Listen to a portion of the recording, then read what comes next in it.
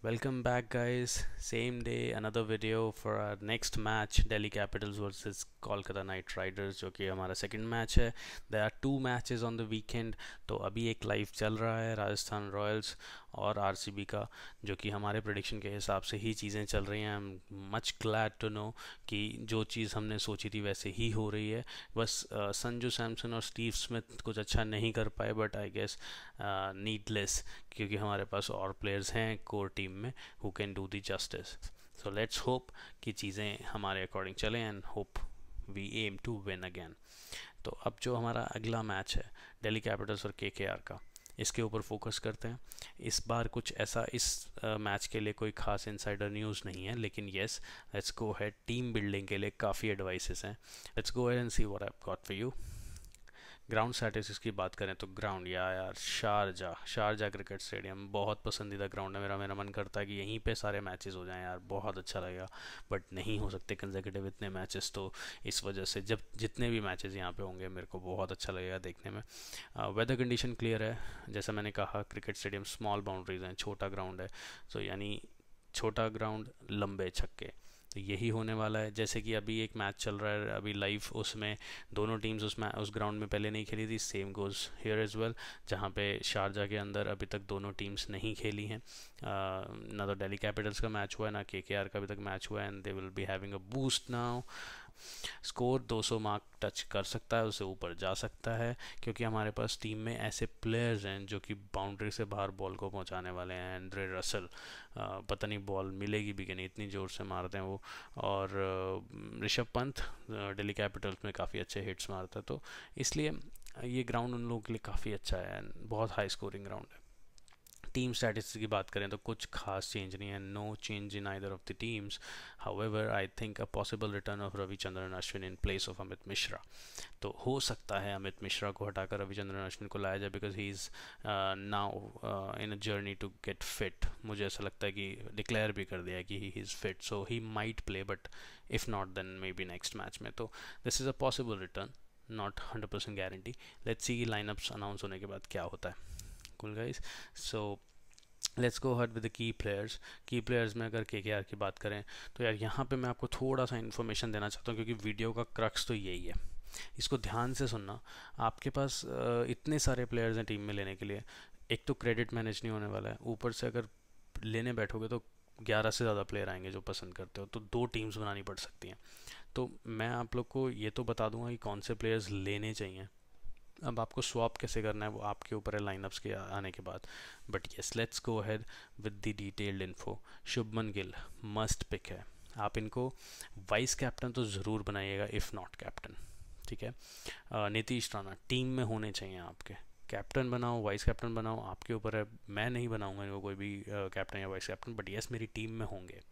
Eoin Morgan, मेरी team में होंगे। कैप्टन, वाइस कैप्टन का मैं नहीं बनाने वाला हूँ इनको, ना मैं कंसिडर कर रहा हूँ बट येस टीम में होंगे। Andre Russell definitely a pick for captain a pick in the team बिल्कुल। सुनील नारायण, यहाँ पे दोस्तों मैं आपको ये बात बोलूँगा कि Sunil Narine has not played good cricket in terms of a batsman but bowling में फिर भी कर रहे हैं वो तो आई गेस यहाँ पे वाइस कैप्टन का रोल प्ले कर सकते हैं। Uh, अगर बैटिंग में करते हैं तो बहुत बढ़िया हो जाएगा चार चाँद लग जाएँगे बट स्टिल वाइस कैप्टन के लिए तो थोड़ा क्वालिफाई करते हैं बिकॉज़ ये इस तरीके का कार्ड है ये ऐसा पत्ता है ना कि कभी भी चल जाए। तो नेक्स्ट पैट कमेंट्स ज़बरदस्त फॉर्म में, दो बैक टू बैक मैचेस में। सो इनको भी ले सकते हैं। Shivam Mavi the star performer तो यहाँ पे एक नाम और मैं नहीं डाल पाया। मैं सात सात नाम इसलिए लेकर आता हूँ क्योंकि एक टीम से आप सात ही लोग ले सकते हो। कमलेश नागरगोटी। इनका नाम मैं नहीं डाल पाया। तो अगर हो सकता है कि किसी से रिप्लेस करना हो तो पैट कमिंस से आप कर सकते हो। और अगर बहुत ज़्यादा हो तो नीतीश राणा ऑइन मॉर्गन की जगह से आप कमलेश नगर नागरगोटी को ले लो, लेकिन उन दोनों को रिप्लेस करने का फ़ायदा नहीं है, क्योंकि नो नौ क्रेडिट है ऑयन मॉर्गन का और कमलेश नगर नागरगोटी का आठ तो एक क्रेडिट वेस्ट होएगा। इसलिए पैट कमिंस भी नौ पे जाते हैं तो कुछ ऐसा करना पड़ेगा जैसे कमलेश नगर नागरगोटी को जगह मिले। मैं आपको नाम बताऊँ के की तरफ़ से, जो बिल्कुल आपकी टीम में होने चाहिए, मेरी प्रोडिक्शन के हिसाब से अगर जो अब तक सही चल रहा है, शुभमन गिल होना चाहिए आंद्रे रसल होना चाहिए तीसरा सुनील नारायण होना चाहिए, चौथा शिवम शिवम मावी होना चाहिए, पांचवा कमलेश नगरकोटी होना चाहिए, छठा वरुण चक्रवर्ती होना चाहिए, सातवां गाइस सातवां, Pat Cummins, Nitish Rana Eoin Morgan, जो क्रेडिट मैनेज कर सके, उनके हिसाब से होना चाहिए। जो आपके क्रेडिट में आए, सातवां प्लेयर वो ले लीजिए। हाँ सात प्लेयर ले लीजिए के के आर के, क्योंकि चार प्लेयर दिल्ली कैपिटल से काफ़ी हैं, एक ही टीम के लिए तो। अगर दो टीम बनाते हो तो फिर दिल्ली कैपिटल से ज़्यादा लोग ले सकते हो। लेकिन दिल्ली कैपिटल में भी पाँच लोग हैं। अगर मैं सातवां नहीं ले रहा हूँ तो फिर Shreyas Iyer, Shikhar Dhawan, Prithvi Shaw, Rishabh Pant, Marcus Stoinis Kagiso Rabada and Rick Nokia.